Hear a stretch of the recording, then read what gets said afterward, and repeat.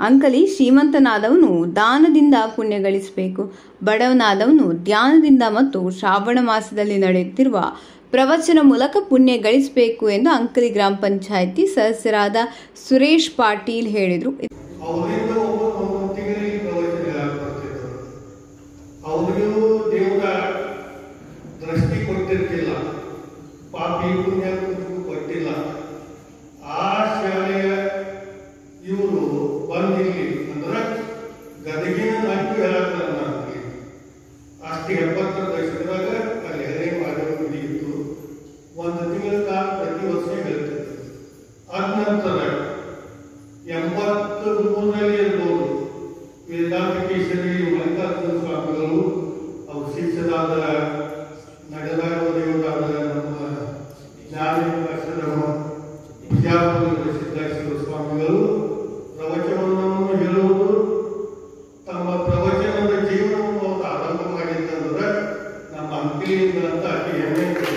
ಇದೇ ಸಂದರ್ಭದಲ್ಲಿ ಗ್ರಾಮ ಪಂಚಾಯತ್ ಅಧ್ಯಕ್ಷರಾದ ಬಾಳಪ್ಪ ಉಮರಾನೆ ಮಾತನಾಡಿದರು. ಚಿಕ್ಕೋಡಿ ತಾಲೂಕಿನ ಅಂಕಲಿ ಗ್ರಾಮದಲ್ಲಿ ಕೆಎಲ್ಇ ಶಿಕ್ಷಣ ಸಂಸ್ಥೆ ಕಾರ್ಯಾಧ್ಯಕ್ಷರಾದ ಪ್ರಭಾಕರ್ ಕೋರೆ ಇವರ ಮುಂದಾಳತ್ವದಲ್ಲಿ ಗ್ರಾಮದ ಶಿವಾಲಯದ ಅನುಭವ ಮಂಟಪದಲ್ಲಿ ಶ್ರಾವಣ ಮಾಸದ ಪ್ರಯುಕ್ತ ಒಂದು ತಿಂಗಳವರೆಗೆ ಪ್ರತಿದಿನ ಸಂಜೆ ಆರು ಗಂಟೆಯಿಂದ ಏಳು ಗಂಟೆವರೆಗೆ ನಡೆಯಲಿರುವ ಅಥಣಿಯ ಮುರಗೇಂದ್ರ ಶಿವಯೋಗಿಗಳ ಭಕ್ತಿಸಾರ ಮತ್ತು ಶರಣರ ಮಹಾಪುರಾಣ ಪ್ರವಚನ ಕಾರ್ಯಕ್ರಮದಲ್ಲಿ ಮುಖ್ಯ ಅತಿಥಿಯಾಗಿ ಪಾಲ್ಗೊಂಡು ಮಾತನಾಡಿ, ಬಡವರ ಶ್ರೀಮಂತರಿಬ್ಬರು ಇಂಥ ಪುರಾಣ ಪ್ರವಚನ ಶ್ರವಣ ಮಾಡುವುದರಿಂದ ಪುಣ್ಯ ಲಭಿಸುತ್ತದೆಂದು ಹೇಳಿದರು.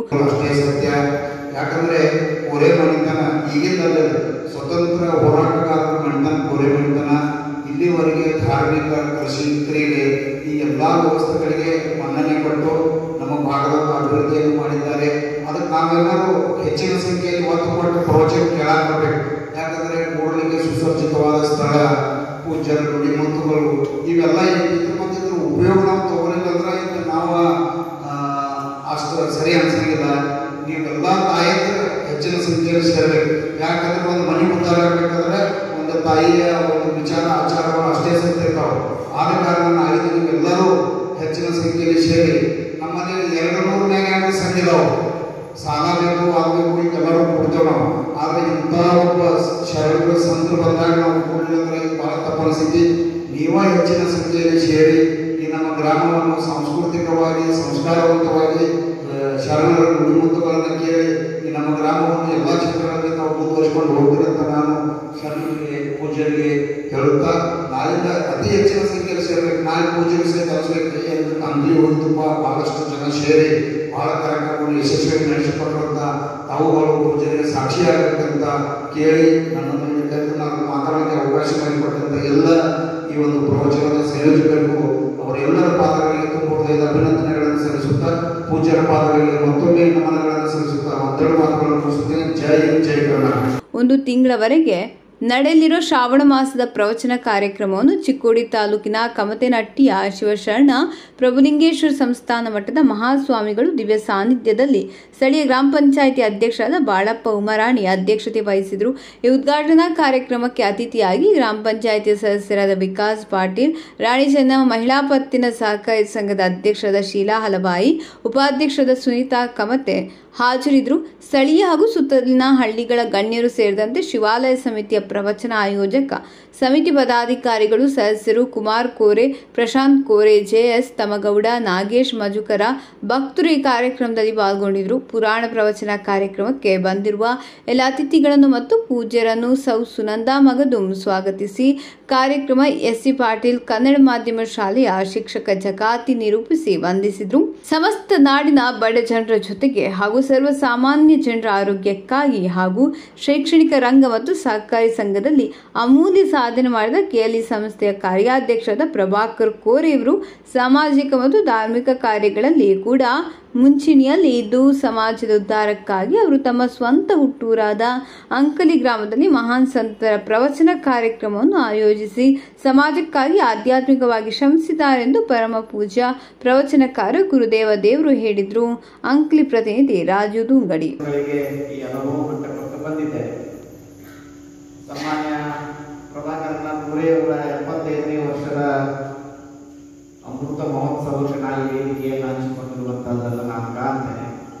ಒಮ್ಮೆ ನಾಗರಕುಮಾರ ಮಹಾಶಿವಯೋಗಿಗಳ ಜಯಂತಿ ಕಾರ್ಯಕ್ರಮವನ್ನು ಅಂಗಿರಿ ಎಲ್ಲ ಚಲೋ ಬರೋಬ್ಬರಿಯಾಗಿ ನಡೆಸಿದ್ರು ನಮಗೆ ಅಂಗಡಿ ಊರವರೆಲ್ಲ ಆವಾಗ ಬಂದಿರುವಂಥದ್ದು ಏನೇ ಯಾವ ಮದುವೆ ಕಾರ್ಯಕ್ರಮಕ್ಕೆ ಬಂದು ಹೋಗಿರುವಂತಹ ಸಂದರ್ಭಗಳು ಅದಾವ ಒಟ್ಟಾರೆಯಾಗಿ ಒಂದು ಸುದೀರ್ಘವಾಗಿರುವಂತಹ ಒಂದು ಸಮಯ ಒಂದು ತಿಂಗಳ ಪರ್ಯಂತರವಾಗಿ ಅನುಭವ ಮಂಟಪದಲ್ಲಿ ಅನುಭವವನ್ನು ಮಾಡುವಂತಹ ಒಂದು ಸಂದರ್ಭ. ಶಿವಯೋಗಿಗಳ ಒಂದು ಪುರಾಣದಲ್ಲಿ, ಒಂದು ಚರಿತ್ರೆಯಲ್ಲಿ ಎಂಥ ಅದ್ಭುತವಾದ ಶಕ್ತಿ ಅದೇ ಅನ್ನುವಂಥದ್ದನ್ನ ನಿಮ್ಗೊಂದು ಹೇಳ್ಬಿಡ್ತೇನೆ ನಾವು ಯಾವುದೋ ಒಂದು ರೀತಿಯೊಳಗ ಸಂಕಲ್ಪವನ್ನ ಮಾಡ್ಕೊಂಡಿದ್ದೆ. ಯಾವುದೋ ಒಂದು ರೀತಿಯೊಳಗ ಸಂಕಲ್ಪವನ್ನ ಮಾಡ್ಕೊಂಡಿದ್ದೆ. ಆ ಸಂಕಲ್ಪವನ್ನ ಮಾಡಿಕೊಂಡು ಇದೇ ಶಿವಯೋಗಿಯ ಚರಿತ್ರೆಯನ್ನ ಸಮಾಜಕ್ಕೆ ಹೇಳಬೇಕು. ತಿಳ್ಕೊಂಡು ಸಂಕಲ್ಪ ಮಾಡಿಕೊಂಡು ಒಂದು ತಿಂಗಳ ಪರ್ಯಂತರವಾಗಿ ಹತ್ತು ವರ್ಷಗಳ ಹಿಂದೆ ನೆನಪಿಸ್ಕೊಳ್ಬೇಕು. ಹತ್ತು ವರ್ಷಗಳ ಹಿಂದೆ ನಾನು ಪುರಾಣವನ್ನ ಹೇಳಿ ಕೇವಲ ನಾನು ಏನು ಅನ್ಕೊಂಡಿದ್ದೆ ಆ ಸಂಕಲ್ಪ ಈಡೇರೋದಕ್ಕೆ ಹತ್ತು ವರ್ಷ ಶ್ರಮ ಪಟ್ಟಿದ್ದೆ ನಾನು ಏನು ನಾನು ಮನಸ್ಸಿನಲ್ಲಿ ಇಟ್ಕೊಂಡಿದ್ದು ಹತ್ತು ವರ್ಷ ಶ್ರಮ ಪಟ್ಟಿದ್ದೆ ಹತ್ತು ವರ್ಷ ಶ್ರಮ ಪಟ್ಟರೂ ಆಗಿದ್ದಿಲ್ಲ ಶಿವಯೋಗಿಯ ಚರಿತ್ರೆಯ ಮುಂದೆ ನಾನು ಹೇಳಿದೆ ಒಂದು ತಿಂಗಳ ಪರ್ಯಂತರವಾಗಿ ನಿನ್ನ ಚರಿತ್ರೆಯನ್ನು ಸಮಾಜಕ್ಕೆ ಮುಟ್ಟಿಸುವ ಪ್ರಾಮಾಣಿಕ ಪ್ರಯತ್ನವನ್ನ ಮಾಡ್ತೇನೆ ತಂದೆ ಅಂತ ತಿಳ್ಕೊಂಡು ಸಂಕಲ್ಪ ಮಾಡಿ, ಸಮಾಜಕ್ಕೆ ಒಂದು ತಿಂಗಳ ಪ್ರವಚನವನ್ನ ಮಾಡಿ, ಕೇವಲ ಹತ್ತು ವರ್ಷದೊಳಗೆ ಆಗದೇ ಇರುವಂತಹ ನನ್ನ ಕಾರ್ಯ ಪುರಾಣ